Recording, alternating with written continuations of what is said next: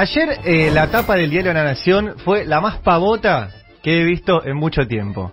Tan pavota que fue eh, tuiteada por Diego Cabot. Yo pensé que la nota era tan pava que era de Diego Cabot, pero no. La nota era de Iván Ruiz, que es uno de los discípulos de Alconada Mon y teóricamente uno de los eh, jóvenes periodistas serios de ese diario.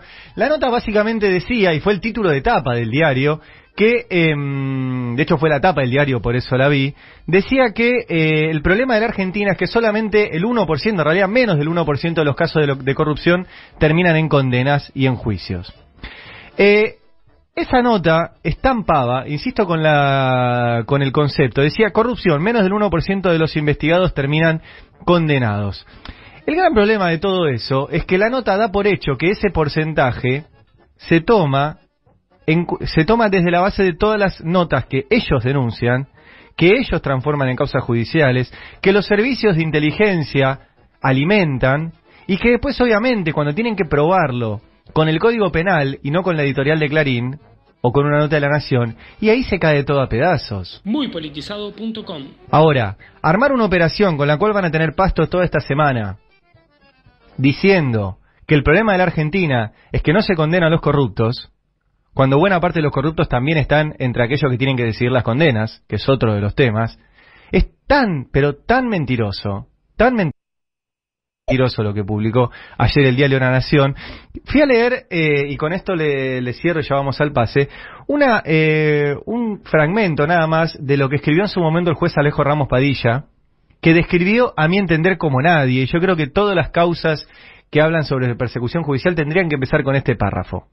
Así escribió el juez Alejo Ramos Padilla sobre esto que intenta decir la Nación que solamente el 1% de los casos llega a condenas.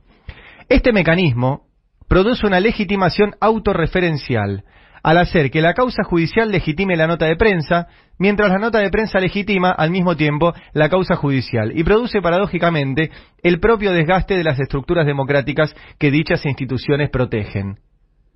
Esto lo escribió el juez Ramos Padilla en junio del año 2019. Así desgastan las instituciones, porque te publican en la tapa del diario que solamente el 1% de, aquel, de, de las personas que ese diario acusa con información de los servicios de inteligencia llega a estar condenada.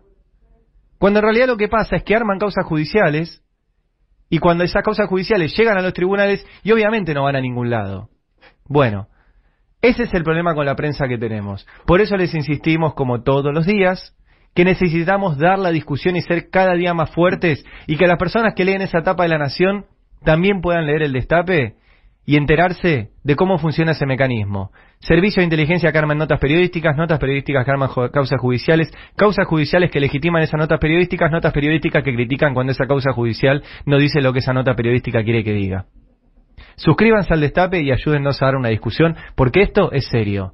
Y lo que están haciendo es destrozar el Poder Judicial, destrozar la democracia, destrozar vidas y torcer elecciones. A eso se dedican y a eso tenemos que darle batalla. Suscríbanse al Destape.